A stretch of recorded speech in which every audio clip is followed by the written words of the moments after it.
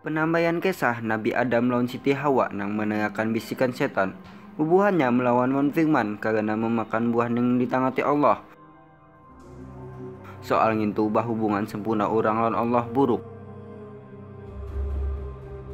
Buhannya hendak menutupi awak lawan dedaunan gasan menutupi rasa supan tetapi Allah kada ketuju wawancara buhannya. Allah malahan menutupi buhannya wan baju nang diulahkan asal kulit binatang. Allah surang nang mengulahkan kurban binatang gasan menutupi rasa supan ugang tu. Nabi Adam lawan Siti Hawa bayi si anak, Kain lawan Kabil. Kain memberikan sesembahan gasan Allah dari hasil panen. Kabil memberikan sesembahan kurban binatang, sebuting sesembahan darah. Allah menerima akan sesembahan Kabil tapi menolak sesembahan Kain. Nang kaya apa? Karena dosa menutup kematian nang memisahkan buhan kita nih lawan Allah wan musti lunasakan lawan jiwa. Kain Bahirian membunuh Kabil lawan dipingkutinya segan-ganalnya turunannya menuju jalan kadap nang baratus-ratus tahun nang lalu sebegatan jadi buruk. Imbah tu Allah berpandai kalau kada ada seorang pun di bumi layak hidup kecuali Nabi Nuh lawan keluarganya. Allah mengiau Nabi Nuh gasa mengulahkan sebuting jukung konol sementara menggawe isi menyampaikan pesan. Penghakiman lawan dosa segera tiba. Wan hanya ada sebuting cara gasa memacukan diri wan menerimakan ampunan Allah. Nang itu naik ke jukung konol. Buhannya tertawaan wan menguluti Nabi Nuh. Hingga akhirnya turun hujan wan muncullah banyu dari dalam tanah pas uang-uang kada begagas kada sadar tatawan wan guring.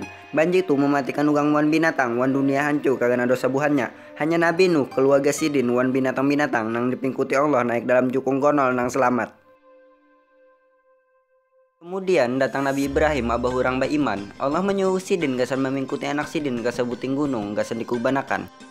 Sebujurnya Nabi Ibrahim merasa barat wan perintah Allah nih, tapi Sidin melaksanakan perintah Allah nih tuh. Sidin membuktikan iman Sidin.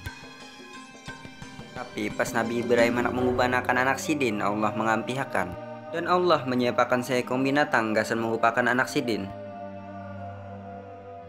400 tahun yang berlalu Allah mengutus Nabi Musa alaihissalam gak memimpin bangsa Israel keluar dari Mesir.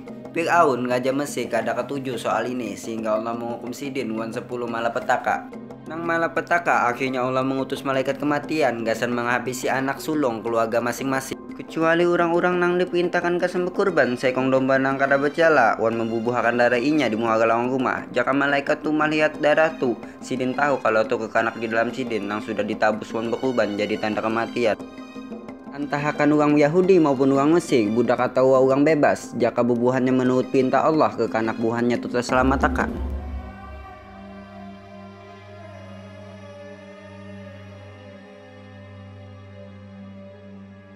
Imbah tu Nabi Musa memberikan buahnya kitab Taurat nang nama Allah menjelaskan sebuting upacara adat gasan tabusan dosa-dosa manusia. Sang pelaku memingkuti binatang sesembahan gasan kepala agama dihendak tangan sidin dia atas kepala binatang tu menandakan dosa wan gasa supan lewat binatang tu.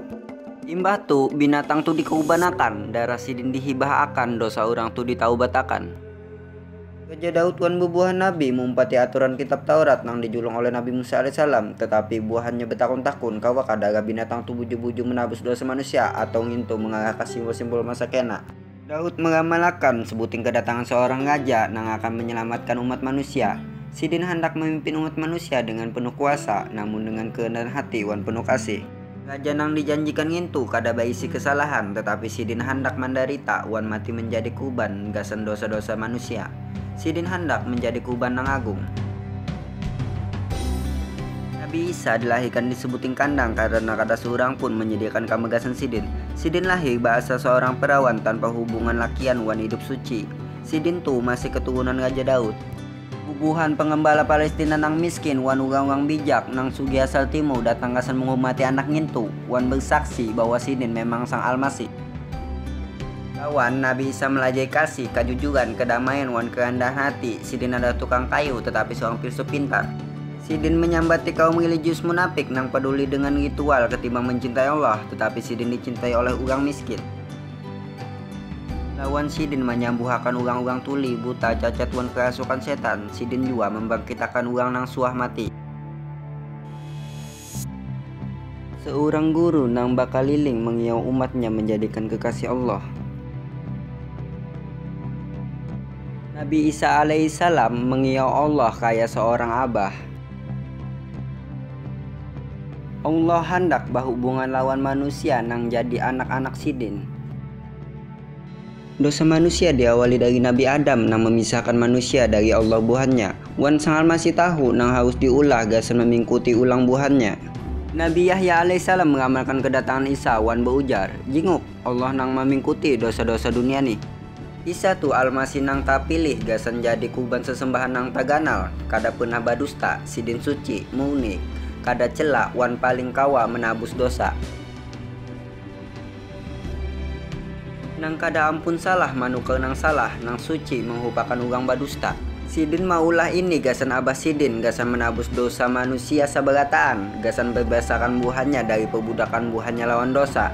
Wan gasan membulikakan buhannya nang hilang wan Adam hubungan nang sempurna lawan Allah Nabi Isa alaihissalam mati di kayu bapalang lain karena orang-orang Yahudi atau orang-orang Romawi tetapi lantaran tangan Allah Abbasidin. Allah mengubahkan Isa gasan menjadikan buju-buju nang ditulis oleh Nabi sebagataan gasan jadi kuban nang memingkuti dosa dunia pian wan ulun. Tapi Sidin kada ampi di situ. Tiga hari balalu Allah menghidupkan Isa sang almasih dari kematian. Jadi janji wan buahannya nang percaya wan Sidin kalau buahannya kawajua hidup wan Sidin. Lainnya tuh Isa bajanjiwan murid-murid Sidin seberataan kalau Sidin berbulik pulang, tetapi jadi hakim wan raja. Sang almasih itu hadiah Allah gasa manusia kalau buahnya kada kau mati dalam dosa wan tapi salawan Allah. Amun menerima pengobatan Sidin buahnya kau berbulik pulang wan bahubungan nang sempurna wan Allah. Amun pinanya hadiah lain hadiah tu kada kau jadi ampun pian sampai pian menerima akan Sidin. Bayaran dosa tu kematian lain hadiah dari Allah. Dari Allah tuh hidup nang selawasnya, nang ada tuh di Isa Almasih junjungan kita.